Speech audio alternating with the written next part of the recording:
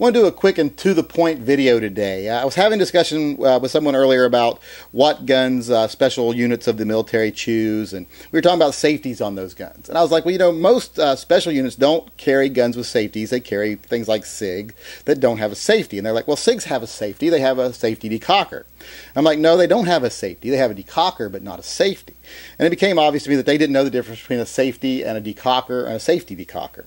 So, you know, I thought, well, you know, we take for granted what people know and what they don't know. Uh, the things I don't know about long guns, uh, we'd be here all day if we just started talking about the obvious things I didn't know.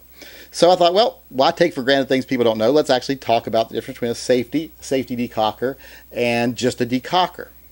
Now, this is a 1911. This just has a basic safety. You click the safety on, the gun will not fire.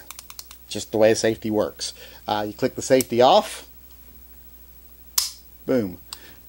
That's just a safety. Does there's no way to cock the gun when you engage the safety? It doesn't do anything to the condition of the gun. It doesn't change whether the gun is cocked or not. That's why this is called cocked and locked. The gun stays cocked, but it's just locked because the safety is on.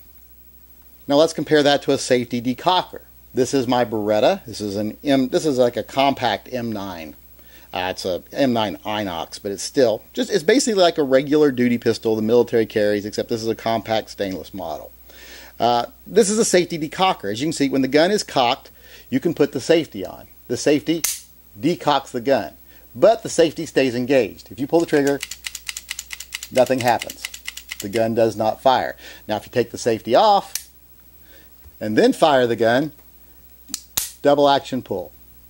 So that is a safety decocker. It actually changes the condition of the gun. The gun goes from cocked to uncocked when you put the safety on. Then it's unfireable because the safety is on. Turn the safety off and you can fire it. That's a safety decocker. Now let's compare that to just a decocker, like on my M11A1 here, which is my carry gun, and it's a gun that a lot of military forces use, uh, or similar guns like the P229.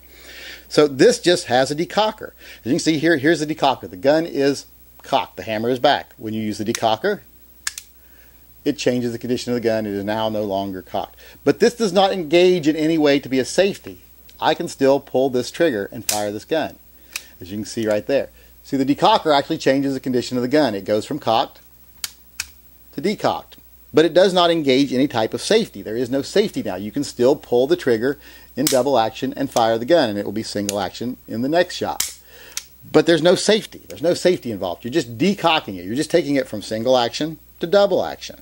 And then the double action, after you fire that, goes back to single action. There's no safety, there's just a decocker. So that's just a quick overview of the differences between the three. I know most people are going to know this already, but there's probably a few that don't. So I thought I would cover it. But that right there for you is the differences between a safety, a decocker, and a safety decocker.